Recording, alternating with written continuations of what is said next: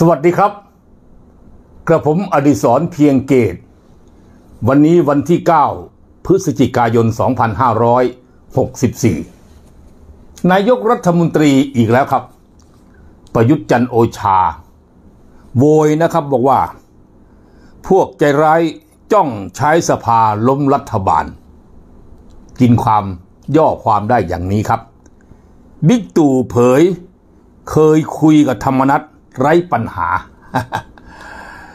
บอกว่ามีคนจ้องจะล้มรัฐบาล ถือว่าเป็นพวกใจร้าย ก็ก็ว่ากันไปนะครับ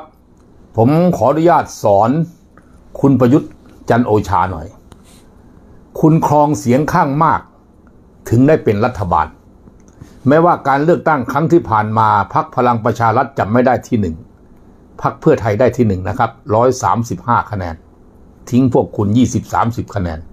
แต่คุณไปเอาสวสองร้อยห้าสิบคนมาโหวตยกมือให้คุณ คุณถึงได้เป็นนายกรัฐมนตรี คราวนี้ก็บริหารยากสิครับ ไปเอาพักร่วมรัฐบาลกว่าจะหาได้ เพราะพักร่วมรัฐบาลนั้นติดกับคำพูดที่ไปหาเสียง พักประชาธิปัตย์โดยคุณจุลินลักษณะวิสิทธิ์ก็กล้ากล้ากล้ากลัวกลัว แต่คุณชวนไปเป็นประธานสภาก็เปิดทาง ให้คุณจุลิน ก็กลืนน้ำลายตัวเองบอกว่าจะไม่ร่วมกับสว 250 คนยกมือสนับสนุน ใครเป็นนายกรัฐมนตรีพักภูมิใจไทย 60 กว่าเสียง ก็บอกว่าจะไม่ร่วมกับเผด็จการนายกรัฐมนตรีต้องมาจากพวกผม คือมาจากพวกที่มาจากการเลือกตั้ง รวบรวมเป็นพักร่วมรัฐบาลครับ ได้เสียงข้างมาก เสียงข้างมากจริงอยู่ แต่คุณต้องรักษาเสียงข้างมากในสภาผู้แทนราษฎรให้รอดปลอดภัย ในขณะที่คุณดำรงตำแหน่งอยู่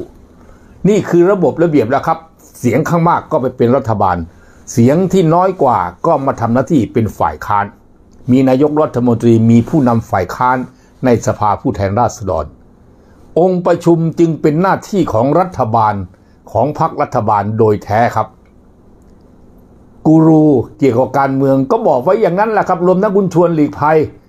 บอกว่าองค์ประชุมเป็นเรื่องของรัฐบาล เพราะฉะนั้นไม่มีใครมาใจร้ายไส้ละกรรมกับประเทศหรอกครับ คุณอย่าผูกขาดรักประเทศไทยคนเดียวนะ ประยุทธ์จันโอชา รวบรวมเสียงข้างมากต้องรักษาเสียงข้างมากให้ได้ ไม่ว่ายัตติใด ๆ เข้าสภา โดยเฉพาะยติเกี่ยวกับกฎหมายเกี่ยวกับการเงินงบประมาณแผ่นดินถ้าไม่ผ่านสภา เขามีมารยาทต้องลาออกจากตำแหน่งนายกรัฐมนตรีก็มีอยู่แค่นั้นครับ ไม่มีใครใจร้ายไส้ละกรรม ถ้าคุณบริหารไม่ได้คุมเสียงข้างมากไม่ได้ ก็ให้อีกฝ่ายหนึ่งมาเป็นรัฐบาลสิครับ จะทำให้ดู นี่แหละ คุณจึง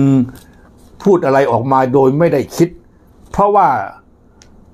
ในพักของคุณในพักร่วมรัฐบาล โดยเฉพาะพักพลังประชารัฐเนี่ย มีบางคนบอกว่าเป็นพักพลังประชาเละเละไปแล้วครับแบ่งเป็นก๊กเป็นเหล่าเดี๋ยวนี้คุณ วิรัตรัตนเศรษฐ์ถูกศาลฎีกาแผนกคดีอาญาของนักการเมืองให้หยุดปฏิบัติหน้าที่ นายกรัฐมนตรีก็เลือกคุณนิโรธสุนทรเลขาสสนครสวรรค์ มาเป็นประธานวิปแทนประชุมกันครั้งแรกที่ทำเนียบรัฐบาล บุคลิกลักษณะของคุณนิโรธสุนทรเลขาไม่เหมือนคุณวิรัตนะครับ ทางฝ่ายค้านก็เป็นห่วงว่าจะคุมเสียงได้หรือเปล่า ไม่มีใครใจไม่ใช่ละกรรมเพราะว่าคุณมันมีสวนกล้วยเยอะ ถ้าไม่ได้กินกล้วย คุณก็ไม่สามารถที่จะบริหารราชการแผ่นดินได้ ไม่มีฝ่ายค้านที่ไหนครับ ล้มรัฐบาลได้ เพราะยกมืออย่างไง มันก็แพ้ฝ่ายรัฐบาลอยู่ดี รัฐบาลจะล้มได้ ก็เพราะตัวของรัฐบาลเอง สะดุดขางตัวไหมสนิมเกิดจากเนื้อในตนนะครับ คุณประยุทธ์จำใส่กระโหลกไว้ สนิมเกิดจากเนื้อในตน คุณไปพูดกับประวิตยวงสุวรรณให้มันรู้เรื่อง คุณไปพูดกับธรรมนัตให้รู้เรื่อง ยังไม่คุยคุยไปครั้งหนึ่งก็ดี ก็คุยกัน ถ้าไม่มีใครยุแยงแต่แขงรั่วก็ดีอยู่ ใครไปยุแยงแต่แขงรั่วท่าน คุณไปปลดเขาเอง คุณไปปลดเขาเองพอปลดเสร็จตำแหน่งเลขาธิการพรรคก็ค้ำคออยู่จะทำยังไงล่ะครับคาราคาสั่ง บ้านผมเรียกว่าปานใกล้กินดักแด้ครับ เคยเห็นไหมครับ ดักแด้สาวสาวไหมสาวหลอกเนี่ย ข้างหนึ่งไก่มากินเข้าไปในปาก อีกข้างหนึ่งมันติดขามันก็ดึงหน้า ดึงหลัง ดึงหน้าดึงหลังอยู่ครับ บอกไปบ่มาปานไก่กินดักแด่ครับ ประยุทธ์ต้องจำไว้นะครับ ไม่มีใครล้มรัฐบาลคุณได้ ยกเว้นพวกคุณสะดุดขากันเอง รัฐบาลมีเสียงข้างมากในสภา ไม่มีใครจะมาล้มรัฐบาลได้ เว้นแต่สะดุดขาตัวเองล้มลงไป สนิมเกิด ได้จากเนื้อในตน สนิมเกิดจากเนื้อในตนนะครับ สะดุดขาตนเอง รัฐบาลมีเสียงข้างมากในสภาไม่มีใครจะมาล้มรัฐบาลได้ เว้นแต่สะดุดขาตัวเองล้มลงไป สนิมเกิดได้จากเนื้อในตน